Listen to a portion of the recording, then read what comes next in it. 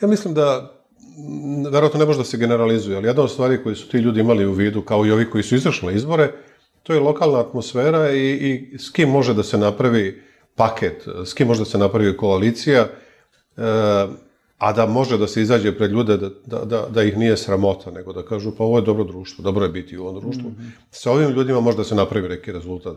Da se ne ložemo, niko iz opozicije nije dovoljno snažan da u bilo kom gradu sam pobedi SNS. Ali nije svejedno ni s kim zajedno nešto radite.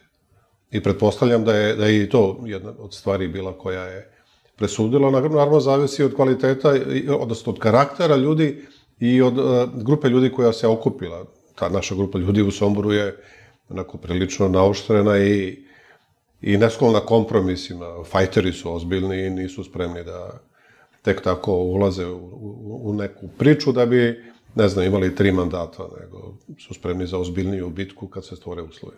Ajde sad da se poslužimo ovom vašom metaforom, dakle, kada, kada se već odlučuje tome kakvom ćemo se društvu naći, a, naravno gledano a, na, na nivou lokalnih samuprava, a recimo imamo jedan, ja bih rekao, sveto primer a, koalicije u Valjevu, a, Svanuće, gde čini mi se srce deo isti, je tako?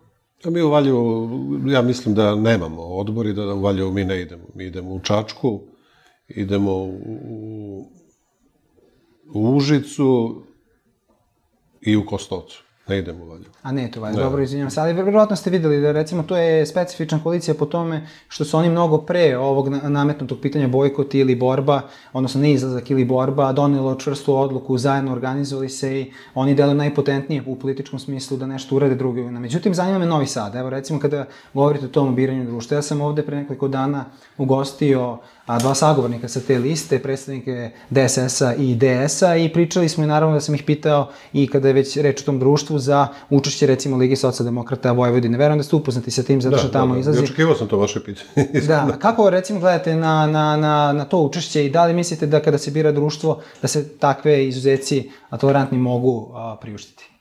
Pitao sam ja kako to sad funkcioniše u Novom Sadu. E, jedan od odgovora koji sam dobio da je među tim strankama koji izazivaju sad pažnju ili podozrenja koje su u nekom periodu bile bliske vlasti, da je bilo i neki personalni promjena i da to čini stvari verovatno prihvatljivijim u ovom momentu.